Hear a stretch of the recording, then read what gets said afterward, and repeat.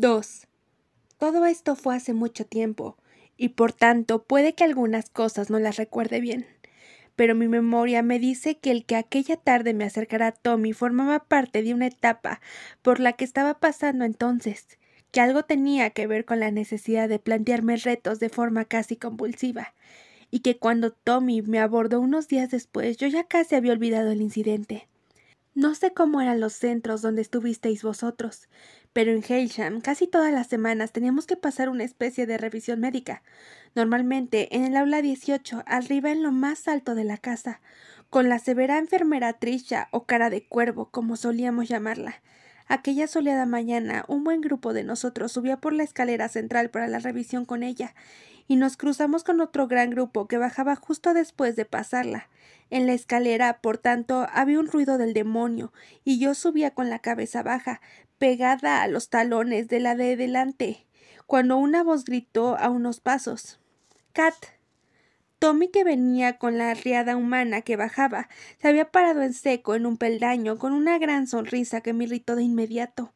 Unos años antes, si te encontrabas de pronto con alguien a quien te alegraba ver, quizá ponías esa cara. Pero entonces teníamos trece años y se trataba de un chico que se encontraba con una chica en una circunstancia pública, a la vista de todos. Sentí ganas de decir Tommy, ¿por qué no creces de una vez? Pero me contuve, y lo que dije fue Tommy, estás interrumpiendo a todo el mundo, y yo también. Miró hacia arriba y, en efecto, vio cómo en el rellano inmediatamente superior la gente se iba parando y amontonando. Durante unos segundos pareció entrarle el pánico y rápidamente se deslizó hacia un lado y se pegó a la pared a mi lado, de forma que, mal o bien, permitía el paso a los que bajaban, y dijo Kat, te he estado buscando. Quería decirte que lo siento, que lo siento mucho, de veras. El otro día no quería pegarte.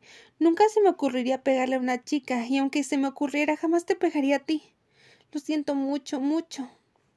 Vale, fue un accidente, eso es todo. Le dirigí un gesto de cabeza, hice ademán de seguir subiendo, pero Tommy dijo en tono alegre Lo del polo ya lo he arreglado, lo he lavado. Estupendo. No te dolió, ¿verdad? Me refiero al golpe. Por supuesto que me dolió. Fractura de cráneo, conmoción cerebral y demás. Hasta puede que cara de cuervo me lo note. Eso sí consigo llegar hasta ahí arriba. No, en serio, Kat, sin rencores, ¿vale? No sabes cómo lo siento, de verdad. Al final le sonreí y dije sin ironía Mira, Tommy, fue un accidente y ya lo he olvidado del todo. Y no te la tengo guardada ni un poquito.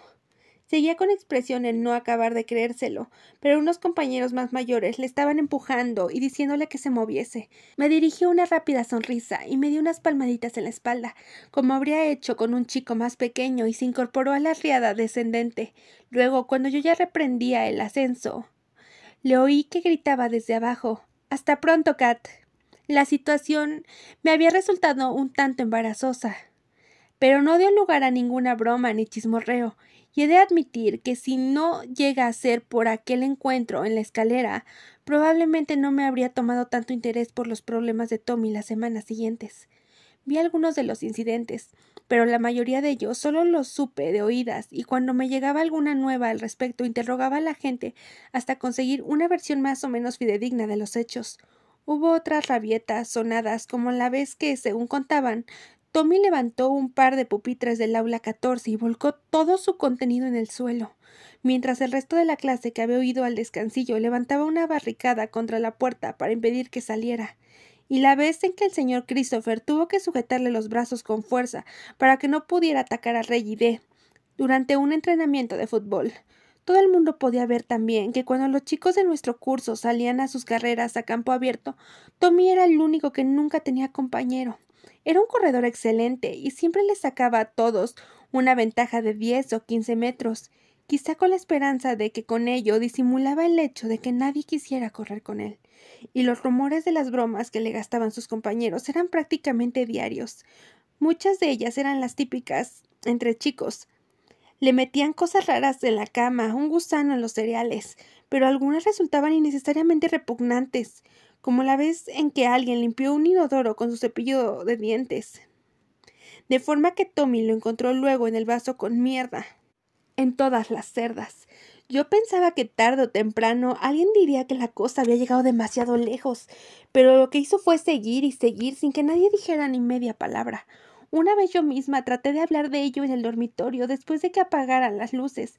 En secundaria éramos solo seis en cada dormitorio, solo el grupito de amigas que solíamos tener nuestras charlas más íntimas echadas en la cama en la oscuridad antes de dormirnos. Allí hablábamos de cosas de las que ni se nos había ocurrido hablar en ningún otro sitio, ni siquiera en el pabellón. Así que una noche saqué a colación a Tommy. No dije mucho, me limité a resumir lo que le había estado pasando últimamente y dije que no me parecía justo. Cuando terminé, flotaba en el aire oscuro una especie de silencio extraño, y me di cuenta de que todas aguardaban a la respuesta de Ruth, que es lo que solía ocurrir después de cualquier cuestión un poco incómoda, que hubiera podido salir en nuestra charla. Me quedé esperando, y desde el rincón que ocupaba Ruth me llegó un suspiro, y al cabo la oí decir Tienes razón, Katy, no está bien.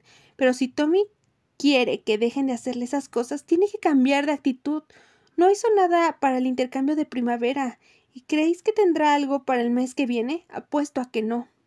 Debo explicar un poco lo de los intercambios que hacíamos en Heishan. Cuatro veces al año, en primavera, verano, otoño e invierno. Organizábamos una gran exposición y venta de todas las cosas que habíamos hecho en los tres meses anteriores pinturas, dibujos, cerámica, todo tipo de esculturas, del material que en ese momento estuviera más de moda, latas machacadas, tapones de botella pegados en cartón. Por cada cosa que aportabas recibías en pago cierto número de vales de intercambio. Los custodios decidían cuántos merecía cada una de tus obras, y luego el día del intercambio ibas con tus vales y comprabas las cosas que te apetecían. La norma era que solo podías comprar piezas hechas por los alumnos de tu propio curso, pero yo te daba la oportunidad de elegir entre muchas cosas, ya que la mayoría de nosotros podíamos ser bastante prolíficos en ese periodo de tres meses. Mirando ahora hacia atrás, puedo entender por qué los intercambios llegaron a ser tan importantes para nosotros. En primer lugar, era nuestro único medio, aparte de los saldos. Los saldos eran otra cosa, sobre la que volveré más adelante, de hacernos con una colección de pertenencias personales. Si, por ejemplo, querías algo para decorar las paredes que rodeaban tu cama, o se te antojaba llevar algo en la cartera de aula en aula para tenerla siempre encima del pupitre, lo podías conseguir en un intercambio. Ahora puedo entender también cómo estos intercambios nos afectaban de una manera más sutil. Si te pones a pensar en ello, el hecho de depender de los demás para conseguir las cosas que pueden llegar a ser tus tesoros personales tiene que afectar por fuerza a lo que tú haces para tus compañeros. Lo de Tommy era un ejemplo típico de esto. Muchas veces el nivel de consideración que conseguías en Helshan de cuánto podías gustar y ser respetado tenía mucho que ver con lo bueno que eras en tus creaciones. Rudy y yo recordábamos a menudo estas cosas hace unos años, cuando la estuve cuidando en el centro de recuperación de Dover. Era una de las cosas que hacían tan especial a Heishan, dijo en cierta ocasión, lo mucho que se fomentaba la valoración del trabajo de los demás. Es cierto, dije yo, pero a veces cuando pienso en los intercambios hay muchas cosas un tanto extrañas. La poesía, por ejemplo. Recuerdo que se nos permitía presentar poemas en lugar de dibujos o pinturas, y lo extraño del caso es que a todos nos parecía bien, que tenía sentido para nosotros. ¿Por qué no iba a tenerlo? La poesía es importante. Pero estamos hablando de escritos de gente de nueve años, de versitos raros, con faltas de ortografía, en cuadernos de ejercicios. Nos gastábamos los preciosos vales en un cuaderno lleno de esos versos en lugar de en algo realmente bonito que decorase lo que veías desde la cama. Si teníamos tantas ganas de leer los poemas de alguien, ¿por qué no nos conformamos con pedírselos prestados para copiarlos en nuestro cuaderno cualquier tarde? Pero, ¿te acuerdas? No era así. Se acercaba un intercambio y nos sentíamos divididas entre los poemas de Susika y aquellas jirafas que solía ser Jackie. Las jirafas de Jackie, dijo Ruth con una carcajada. Eran tan bonitas. Yo tenía una. La conversación tenía lugar en un hermoso anochecer de verano, sentadas en el pequeño balcón de su cuarto de recuperación. Fue unos meses después de su primera donación, y ya había pasado lo peor, y yo siempre programaba mis visitas vespertinas para que pudiéramos pasar media hora allí fuera, contemplando cómo se ponía el sol sobre los tejados. Veíamos montones de antenas de radio y televisión, y de parabólicas, y a veces en la lejanía una línea reluciente que era el mar. Yo llevaba agua mineral y galletas, y nos sentábamos a hablar de todo lo que nos venía a la cabeza. El centro en el que estaba Ruth entonces es uno de mis preferidos, y no me importaría en absoluto acabar en él yo también. Los cuartos de recuperación son pequeños, pero confortables, y están muy bien diseñados.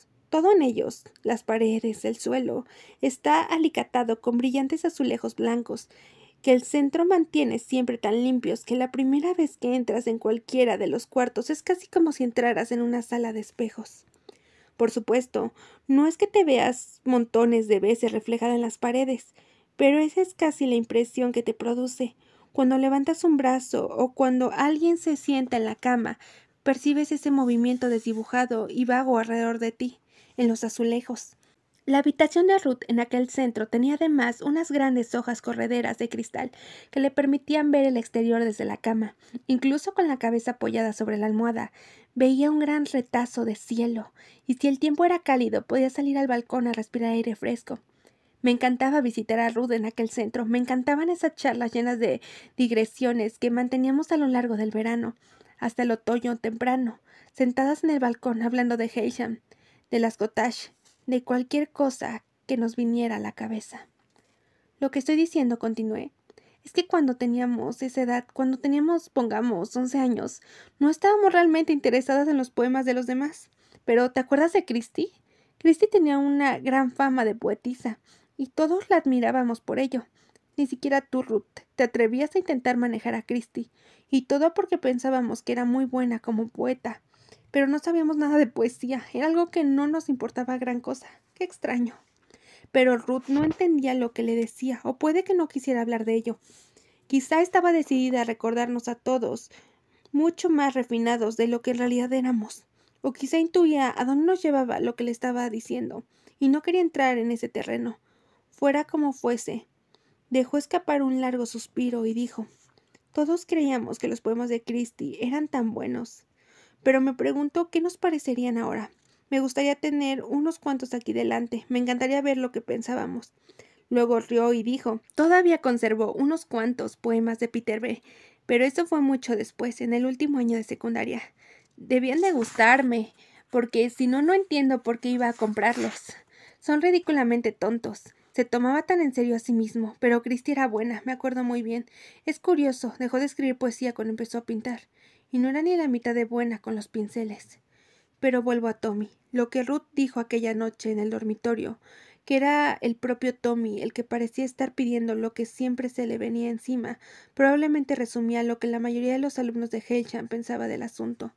Pero fue al decirlo Ruth cuando me vino a la cabeza, allí acostada en la oscuridad, que la idea de que Tommy no ponía deliberadamente nada de su parte en la que venía circulando en Henshall desde que estábamos en primaria y caí en la cuenta con una especie de estremecimiento de que Tommy llevaba padeciendo aquello no solo semanas, sino años.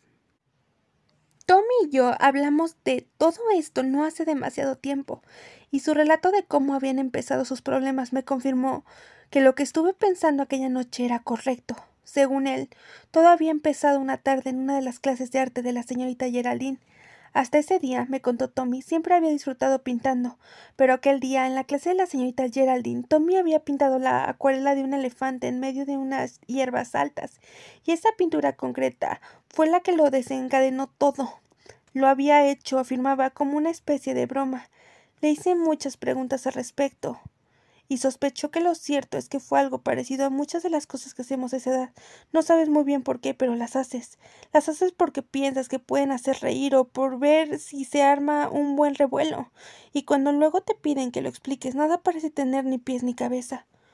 Todos hemos hecho cosas de esas. Tommy no me lo explicó así, pero estoy segura de que lo que pasó fue eso.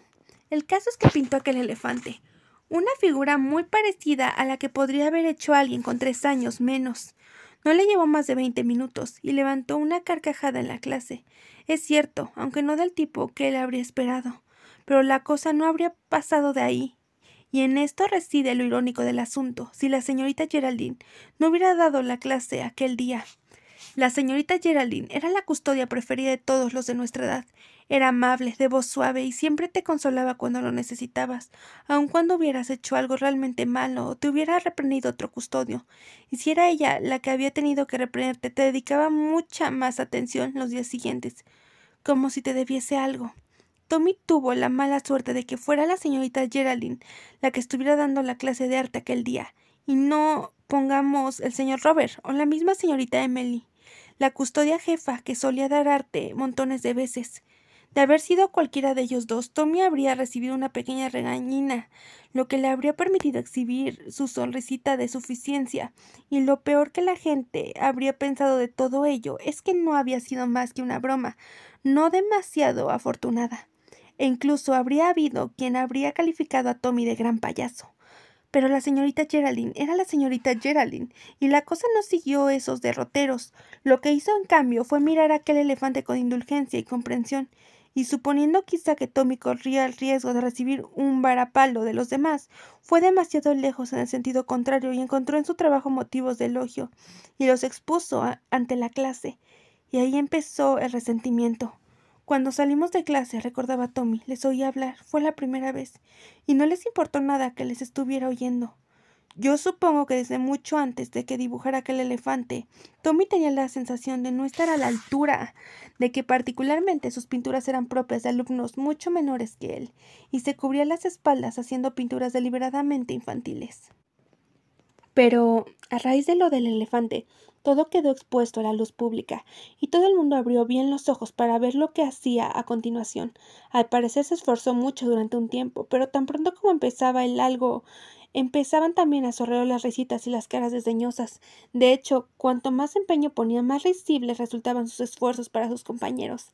Así que no hubo de pasar mucho tiempo para que Tommy volviera a trincherarse en su actitud pasada y a presentar trabajos deliberadamente infantiles, trabajos que parecían decir a gritos que no le podía importar menos. Y a partir de entonces la cosa no hizo sino agravarse. Durante un tiempo solo tuvo que padecer este sufrimiento en las clases de arte, aunque éstas eran harto frecuentes, porque en primaria dedicábamos muchas horas a esta disciplina. Pero luego su tormento alcanzó otra dimensión. Los chicos le dejaban fuera de los juegos, se negaban a sentarse a su lado en la cena, fingían oírle si decía algo en el dormitorio, después de que se apagaran las luces. Al principio la cosa no fue tan implacable. Podían pasar meses sin que se produjera ningún incidente, y él empezaba a pensar que todo había quedado atrás, y entonces alguien hacía algo, él o alguno de sus enemigos, como Arthur H., y todo volvía a empezar. No estoy muy segura de cuándo empezaron sus grandes rabietas.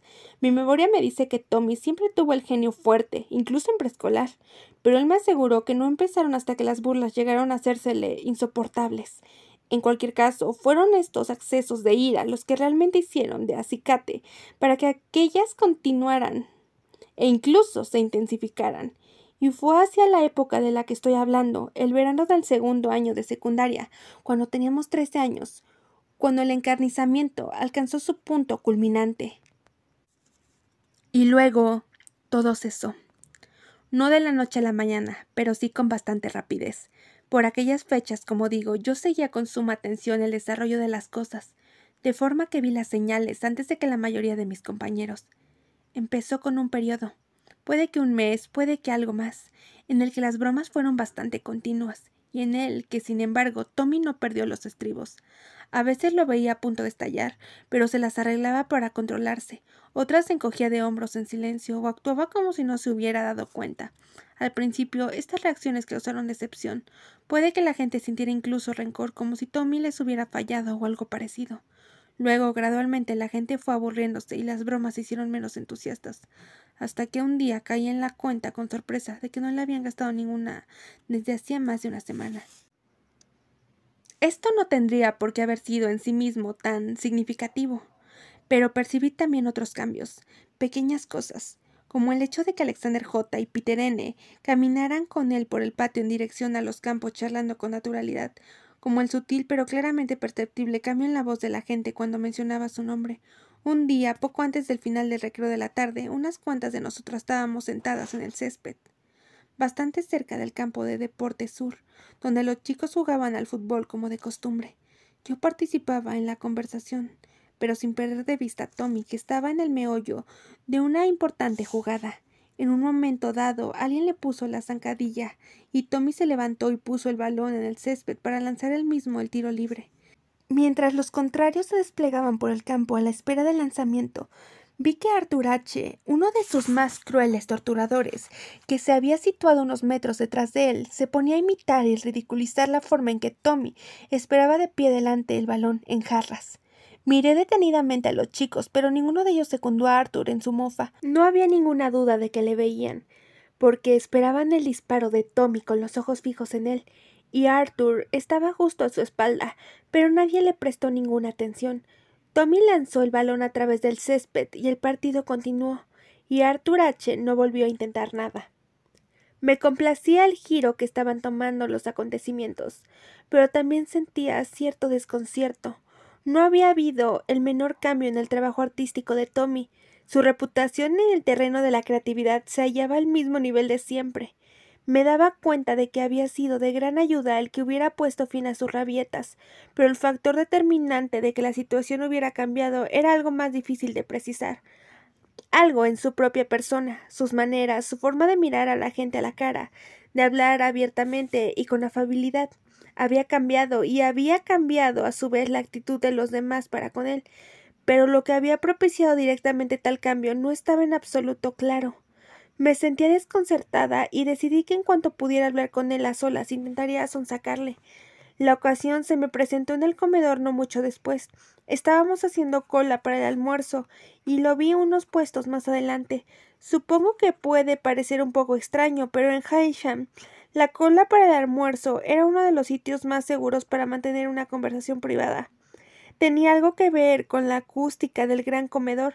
El vocerío general y los altos techos propiciaban que si bajabas la voz y te acercabas al otro lo bastante y te asegurabas de que tus compañeros de al lado se hallaban enfrascados en su propia charla, existía una gran probabilidad de que nadie pudiera oírte. En cualquier caso, tampoco teníamos tantos sitios donde elegir para este tipo de charlas personales. Los sitios tranquilos eran a menudo los peores, porque siempre pasaba alguien a una distancia desde la que podía entreoírte, y en cuanto tu actitud delataba que querías apartarte para una charla privada, todo el entorno parecía percibirlo en cuestión de segundos, y se poblaba de oídos. Así que cuando vi a Tommy en la cola, apenas unos puestos más adelante, le hice una seña con la mano, la norma estipulaba que no podías colarte, pero sí retroceder hasta donde te viniera la engana. Y Tommy vino hacia mí con una sonrisa de alegría en la cara. Cuando estuvimos uno al lado del otro, nos quedamos así unos instantes, sin apenas hablar, no por timidez, sino porque esperábamos a que pasase cualquier posible curiosidad por el repentino cambio de sitio de Tommy. Y al final le dije Pareces mucho más contento últimamente, Tommy. Parece que las cosas te van mucho mejor. ¿Te fijas en todo, eh, dijo sin el menor asomo de sarcasmo. Sí, todo va bien, todo me va genial. ¿Qué ha pasado, pues? ¿Has encontrado a Dios o algo? ¿Dios? Tommy pareció confuso unos instantes y luego se echó a reír y dijo Ya, entiendo. ¿Te refieres a que ahora no me pongo como una fiera? No solo eso, Tommy. Has conseguido que cambie por completo tu situación. He estado observando y por eso te pregunto. Tommy se encogió de hombros. Me he hecho un poco mayor, supongo. Y seguramente los demás también. No puedes seguir con lo mismo siempre. Es aburrido. No dije nada, pero me quedé mirándole directamente hasta que soltó otra risita y dijo Kat, eres tan curiosa, de acuerdo, sí, supongo que hay algo. Que me pasó algo. Si quieres te lo cuento. Vale, adelante. Te lo voy a contar, pero tú no tienes que ir contándolo por ahí, ¿de acuerdo? Hace un par de meses tuve una charla con la señorita Lucy y me sentí mucho mejor. Es difícil de explicar, pero me dijo algo y me sentí mucho mejor. ¿Qué te dijo? Bueno, la verdad es que puede parecer raro, hasta me lo pareció a mí al principio. Lo que me dijo fue que si no quería ser creativo, que si realmente no me apetecía hacerlo, pues no pasaba nada que no era nada normal ni nada parecido. ¿Eso es lo que te dijo? Tommy asintió con la cabeza, pero yo ya me estaba apartando de él. Eso es una tontería, Tommy. Si vas a andar con jueguitos estúpidos conmigo, déjame en paz porque no tengo tiempo que perder. Estaba enfadada de verdad porque pensaba que me estaba mintiendo, y precisamente cuando le había dado muestras de merecer su confianza. Vi a una amiga unos puestos más adelante y me separé Tommy para ir a saludarla. Que se había quedado desconcertado y alicaído, pero después de los meses que llevaba preocupándome por él, me sentía traicionada y me importaba un bledo que se sintiera mal. Me puse a charlar con mi amiga, creo que era Matilda, tan animadamente como pude, y apenas miré hacia donde él estaba en todo el tiempo que estuvimos en la cola. Pero cuando llevaba mi plato hacia las mesas, Tommy se me acercó y me dijo apresuradamente Kat, si crees que te estaba tomando el pelo, te equivocas. Lo que te he dicho es la verdad. Te lo contaré todo mejor si me das la oportunidad de hacerlo. No digas tonterías, Tommy. Kat, te lo contaré todo. Voy a bajar al estanque después de comer. Si vienes, te lo cuento todo. Le dirigí una mirada de reproche y me alejé sin responderle, pero supongo que había empezado ya a considerar la posibilidad de que no se estuviera inventando lo de la señorita Lucy. Y cuando me senté con mis amigas empecé a pensar en cómo podría escabullirme después de comer para bajar hasta el estanque sin que nadie se diera demasiada cuenta.